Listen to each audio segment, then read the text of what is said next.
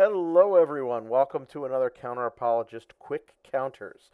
Uh, today, Cameron Bertuzzi of Capturing Christianity put forward a video with a Dr. Chad McIntosh uh, that is why atheism logically leads to despair. right? And I mean, with a title like that, I, I, I was just staggered and was like, they're really going to go for this. Uh, now, he did have a, a, very interesting spin on this argument.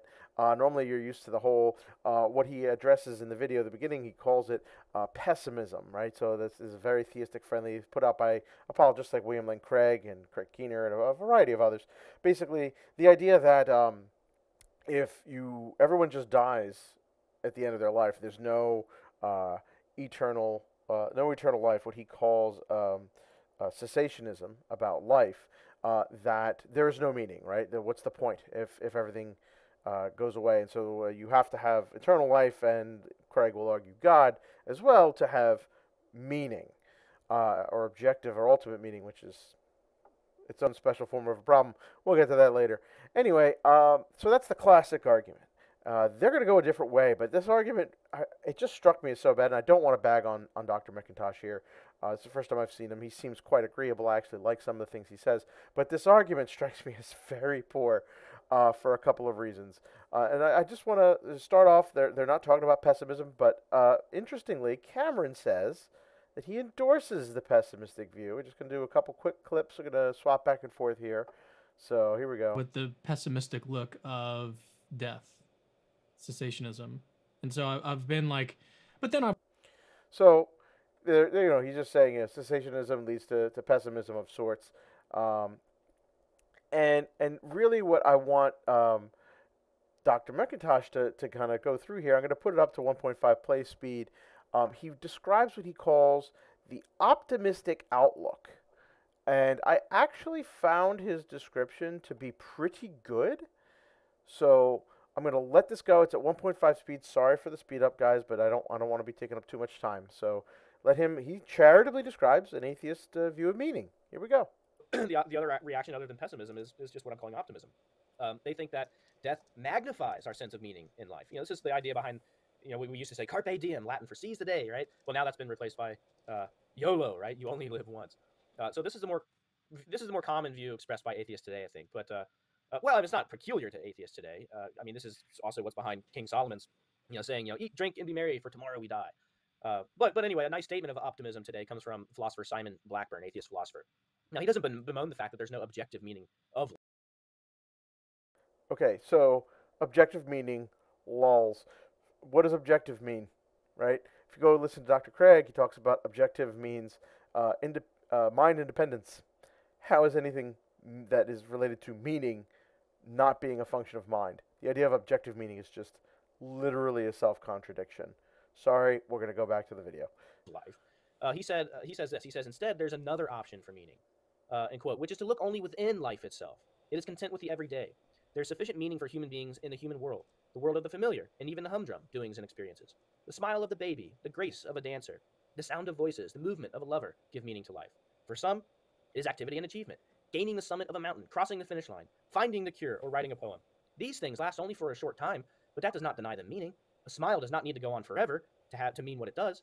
There's no such thing as the meaning of life, but there can be many meanings within a life. Okay, so actually, kind of like uh, this this outlook here. Um, as a matter of fact, what I found particularly interesting about Dr. McIntosh here is that he actually endorses this view. So here we go again. But as it stands, as we've articulated the views, I think the optimists are actually closer to the truth. Contra Craig and Kreeft and, and, and even Schopenhauer and, and Tolstoy. Uh, I think death does make life more meaningful, not less. Death is a great reason, perhaps the greatest reason, for making the most of the time that we have, which is all the more precious on account of its scarcity. Uh, so, so again, Solomon was right. If tomorrow we die, we should eat, drink, and be merry uh, and make the most of, of life uh, right now.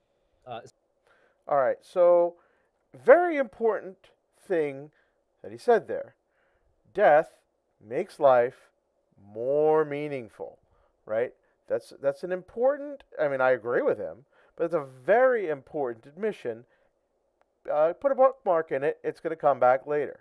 So here, uh, Dr. McIntosh gives an example of uh, now once we've accepted optimism and we've accept, accepted cessationism, the fact that we simply cease to exist when we die, um, what should we do? We want to maximize our meaning. And he gives a very entertaining example here, so I'm just going to let him let him let him give it.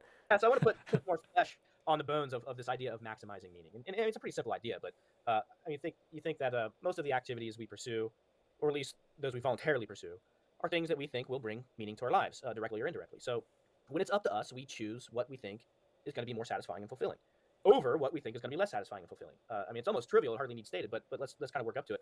Uh, so, if you were offered uh, a choice between a Butterfinger candy bar and a Milky Way candy bar, uh, and you like Butterfingers more than Milky Ways, and you should, by the way, um, it would be odd, or perhaps even irrational, to choose the Milky Way over the Butterfinger, right? In general, we choose what we think will maximize meaning in our lives, satisfaction, fulfillment, and so forth. Okay, so first and most important point, yes, Butterfinger over Milky Way. Um, but I think he's he's he's making a decent point. We try we want to maximize our meaning in terms of like we, we want to do things that basically what we value effectively. Uh, eh, it's a fine point. Um, you might be able to start telling where he's going to go with this, uh, and I want to. Um, here he presents the problem, or what he thinks is the problem with maximizing meaning uh, when you believe that life ends at death and there's no afterlife. Uh, here we go. Does this lead to despair? Yeah, how how can I be sure that what I'm doing at any moment is in fact maximizing meaning? Because it seems like for anything I do, it seems like the pestering thought would remain. Isn't there something else I could be doing that would be more satisfying and fulfilling? Uh, I mean, just ask yourself, Cameron. Isn't there something else right now that you could be doing, other than interviewing me, that would be more satisfying and fulfilling? Don't answer that Possibly. question. yeah, so I mean, the, the, the, the listeners can ask themselves the same question: Is it, surely there's something else that they could be doing that would be more satisfying, fulfilling than, than watching this Instead of watching Capturing Christianity. Right. So, um, yeah, probably should be doing something other than watching Capturing Christianity. Um, that said, uh, I want to get to sort of the question that, that, that he brings up here um, of, you know, w- the fact, the, the problem he thinks is that given atheism and this maximizing our, uh, maximizing our, our meaning, uh, this makes life too meaningful. So here we go. is the end. But well, but even then, you'd still always be faced with this question of whether or not you're, what you're doing is is the best way to maximize meaning, backpacking across Europe or whatever. Uh, is there anything you can be sure is worth your while if this life is all you have? So I guess the main idea is that not knowing for sure what maximizes meaning itself sort of gnaws away at meaning. It's, it's, it's as if if cessationism is true, life becomes too meaningful. The worth of my life as a receptacle for meaning exceeds the while I have to maximize, the time I have to maximize. Uh, so it's, it's each moment of my life is so pregnant with, with potential for more meaning that I despair at the likelihood that I'm failing to maximize. Okay. So this just seems so outlandish, right? He makes another point where he says you can't spend even too much time worrying about maximizing your meaning because that's time you're not maximizing your meaning. Um, and it's this really weird, like, oh, we should be uh, so so worried that we, we don't know what will actually maximize our meaning. And so we have to be very careful to, you know, we, we, we, since we can't know what it is, we don't actually know what to do, right? And then we're stuck, like, if you, the more you think about it, the more time you're wasting. And so this leads to existential despair for some reason. And I just, I, I don't get it. Um, like, to say that, I you know, I don't know like like I don't know what is could possibly make me the happiest. He even brings up that like even if there actually was something that would be the most uh, maximizing meaning action you could take at any given time, you wouldn't be able to know it. It's epistemically unreachable, um, and so you still don't escape the despair. I'm sorry.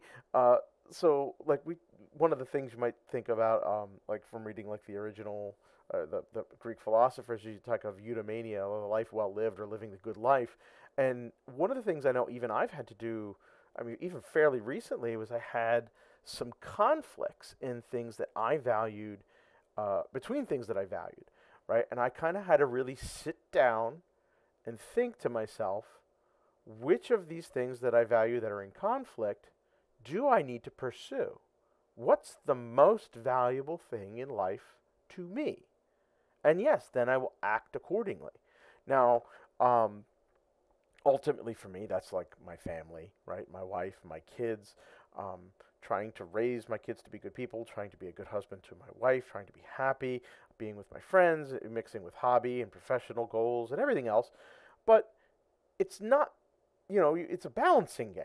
And I, I, I have constraints on my time. And so, like, worrying about am I not maximizing it all um, actually just seems kind of crazy. Like, I, I know that it's going to end. I know that the ending actually makes my life more meaningful. I actually agree with his original premise there that, you know, without death, life just keeps going on and on. Eh, why do I even get, why do I bother to do anything? This is one of the problems I have even with eternal life in heaven. Like, if, if universalism were true, I'm not 100% sure it's perfect, or at least maybe God has to like change me or something to make me think it's perfect. Um, so I I definitely think death gives my limited time more meaning, but at the same time, I, I acknowledge my limitations and I, I figure out through introspection what is the good life for me. I give myself the meaning and I pursue that. optimizing it to the point of having existential despair. Are you crazy? You know, that like that defeats the purpose of, of maximizing my meaning. it's like it's almost like a self defeating argument. Um, so, and, and speaking of self defeating, I want to switch to uh, his solution that he proposes. So let's let's listen in here. Um, because you know, if, if you believe that there's an afterlife, then you don't need to stress about whether you are at all times maximizing meaning in this life. It's much easier to just be content with with meaning in moderation uh, if you believe that you always have opportunity to make up for lost time. Okay, so remember that bit about death making life more meaningful and more precious. Um, the solution which he says is pretending that um, uh, cessationism is false, so that he will always have infinite time to uh, maximize his meaning. Um, it just, you know, I, I don't. If you if you give that up to somehow think that you're going to be okay to, you know, live in uh, meaning and moderation, or getting meaning to a good enough level, because you can go on for an infinite time well, first of all, you're giving up the idea of cessationism, which makes things more meaningful. So you've gone back to an infinite amount of time. So things, your amount of time basically becomes meaningless because you have infinite time to get whatever meaning. Um, so uh, you know you have given up the thing that makes the time valuable. So it, seems like this is almost a self-defeating solution to the problem. Uh, you kind of get to turn the objection almost on its head, and I, I just don't see why if you know, living with meaning and moderation um, is unachievable for the atheist. Like, uh, I just know that I can get uh, a good enough amount of meaning in my limited capacities and my limited capabilities. Why, if it's good enough for the theist to starve off the despair, why is it not good enough for me just on a limited timeline? And I still have the optimism that we talked about that makes my limited time meaningful. Um, now, he actually gets a question about this and he tries to uh, answer it. He says it is the most formidable objection, and I think he's right. It is probably the defeater for this argument. Uh, I don't think he does a good job handling it, though. He tries to address it. I'll give him that. Give him that much. So here we go. This is the last clip we're going to play here. Um, I'm not convinced that satisficing isn't just a form of maximizing. Oh, so sorry, satisficing is um, basically maximizing your meaning within constraints. So here we go. Uh, so that's kind of why I think I saw a contradiction there. Uh, satisficing is, is just maximizing given certain constraints, constraints of time and, and resources. So uh, where where going beyond those constraints would incur costs that outweigh the benefits. So um, this this can have the appearance of good enough, but what good enough means in these contexts is just the best given my constraints. Satisficing to me, it, seems to me that satisficing is just a maximi- is just maximizing on a budget. Uh, so if you're a cessationist, uh, you're still going to, to choose what you think maximizes meaning given the constraints you have on your choices. Uh, and so what I'm suggesting is the best choice here is to, is to deny cessationism and live as though there, there's an afterlife. All right. So that conclusion doesn't follow, right? So why would I deny cessationism and live as if there's an afterlife if I'm saying I'm just if I'm if if if satisficing or maximizing my happiness given constraints um, means that I just acknowledge that I, I, I get to a good enough level of meaning, isn't that just the answer? It just stops there. I, I'm good enough. I know I can't achieve perfection. Life is not perfect. I grant this readily. This doesn't cause existential despair. I'm able to live the best life I can, and that's it. I don't I don't have to deny that I'm going to just cease to exist when I die. Like I don't see how that's a problem. Like it doesn't follow that I have to give this up. Uh, now there's one more thing I want to to bring up uh, besides refuting the argument was a bit of Cameron kind of uh, contradicting himself, really. Uh, this was retweeted by Spartan Theology here. Um, so this was uh, not too long ago. Ben Ben Watkins, uh, who I worked with on the Relay Theology podcast, go check them out. I'm no longer a member of the cast, but they do an amazing job.